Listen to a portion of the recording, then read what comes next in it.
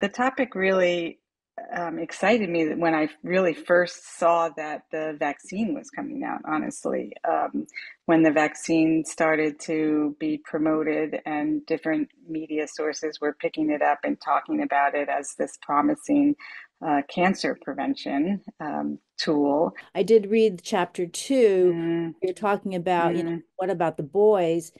And um, I was curious, do you think or did you find in your research that maybe pop culture is the way to talk about HPV and normalize it? Because you meant you referenced the TV show Girls and and how they um, dealt with the topic. Mm-hmm, mm-hmm. Yeah, well, I mean, I think pop culture and science aren't actually all that different, right? They're both kind of telling stories that have really important health education messaging, also really important consequences for who gets to sort of like be the subject of the of the topic and then to come to medicine you know as a result. So i do think that pop culture was a main uh, medium of picking up the pharmaceutical messaging.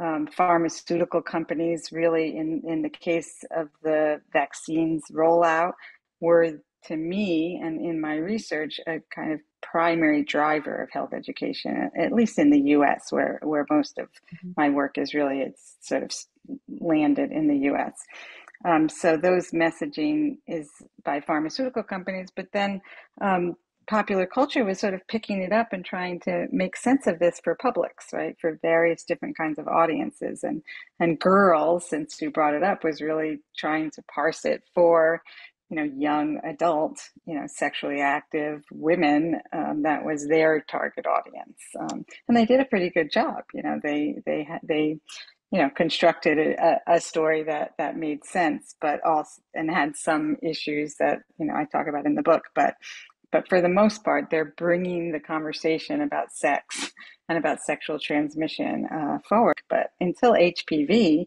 you didn't really think about cancer as, as sexually transmitted, right? You didn't think about those routes of transmission, and so you know I also was taken by that as as um, as so many people's lives were reshaped as well um, that to understand cancer in this in this different way, and so popular culture and others were taking it up, and I think how they did so is important for bringing people into the conversation when you mentioned the pharmaceuticals um, and how how yeah. Merck, for example, decided to promote the um, the HPV vaccine, especially expanding it out to boys, and they they stuck with this this kind of campaign. This is the cancer vaccine. It seems like that would have been um, the wise um, strategy to ignore all the controversial aspects of the vaccine, but it didn't quite work. Um, can you in your research were you able to determine why not? Or at least well i mean i think in some ways it's really because of the facts of the kind of epidemiological facts of the of the numbers. I mean the the boys who would later be get getting cancers and um, you know as you know oral pharyngeal cancers and anal cancers. Um, you know they're very rare cancers. Where cervical cancer in women is a cancer that that in women's we're more familiar with right? And the numbers are are larger. And so i do think that that in part you know like you said it kind of made sense um, that that this was a harder sell is something that I often say, like, how are we going to sell this from Merck's perspective um, and from a sort of popular understanding perspective?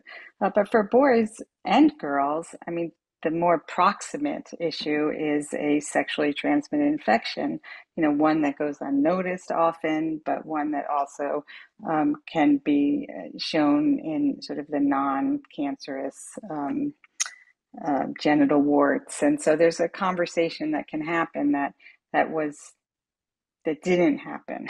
And so i think there was a bit of that that could have happened with boys and just got very complicated and murky i think because of this refusal to sexualize. I mean when i say sexualize i think it can be a good thing. Mm-hmm. it's not a bad thing. It's not always stigmatizing to sexualize uh, I think that we need more sexualization in some ways of health and illness um, when uh, that's the transmission routes, and that's also the implications for people's bodies and lives. When you talked about the tension between what you called we, public health, and me, mm-hmm. clinical mm-hmm. medicine, and that whole thing being, um, you know, working against each other as opposed to working together. Can you speak to that and how it relates to this whole HPV um, cancer crisis? Yeah, sure. I mean, I think that the context is really important in thinking about the kind of late 20th century, but 21st century medicine where, um, you know, there's a difference between public health or pop, what we call population public health, where we're thinking about the sort of uh, prevention of sort of mass public health, which is like vaccines. Vaccines are a mass public health tool. Um, but yet, in this era, I suppose that that we all live in and that HPV came around in, there's a lot of this kind of individualized healthcare, you know, how to balance risks and benefits for the for the me, for for my health. Um, and with vaccines, there's that tension. So in the popular, I want to say imaginary, but I, I don't mean it I mean, that's a concept that is often used, but in the popular way of understanding things, um, you're not so interested in the in the population health. You really want to know, like, well, how it's going to benefit me. Um, and so pharmaceutical companies would advertise, like, how is this going to benefit the you? How can we prevent cancer in you, in your son, in your daughter, like from their individual risk you know, that would be 20 years down the road. Now, COVID's so different because it's immediate, right? I mean, we don't have the latency period um, of, of, an airborne illness.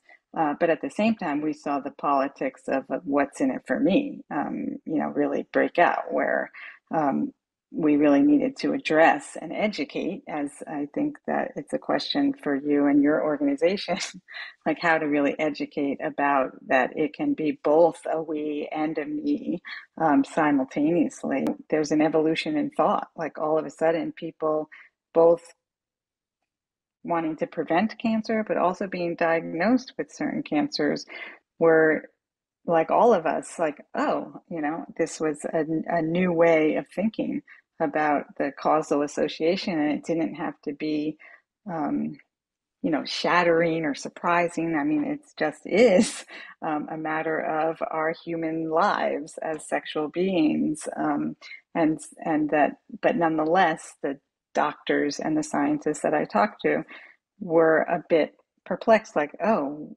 like i don't know how to do that education or i've never had to talk about that in my practice before cervical cancer seems to have now been normalized it's people understand it they wrap their hearts around it whereas the other cancers yeah. such as you know head and neck anal any other kind um, that we're talking about still is sitting there all kind of you know like the the outcasts in the room um, you know, when with your conversations with him, I'm just wondering if you know you you you could shed any light on that. Like, why aren't all cancers equal? A chapter of the book really looks at anal cancer prevention and the politics around that, and that takes a very different um, historical thread than the politics around cervical cancer.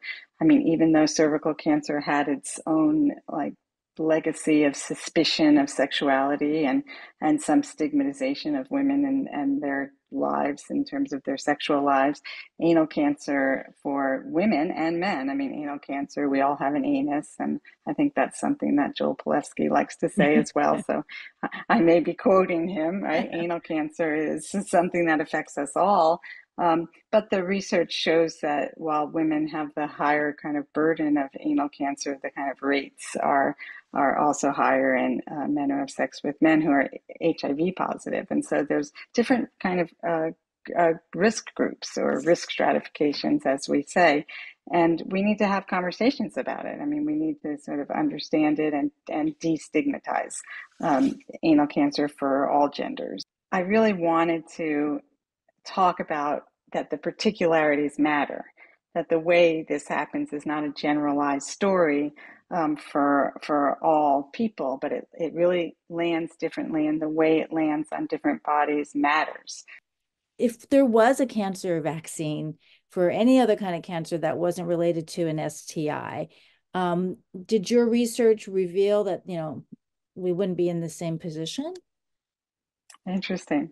Um, you know, that's a great question, you know, and not necessarily one that I took up, although I think the whole question that I did take up is was it because it's an S, an sexually transmitted um, uh, causality model? And so I would say, but I didn't say then, that it would be taken up. I mean, we wouldn't have the same politics around uh, HPV. And so you know, my hope is really that we can both uh, reach people who are thinking about these cancers, um, but at the same time, reach people to talk about sexuality and sexual transmission.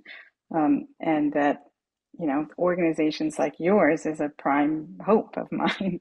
Um, you know, that, that, you know, these organizations can really um, find the conversations to help with their goals um, and that whether that's health education or increasing vaccination rates or really destigmatizing sexuality and its relation to health and illness.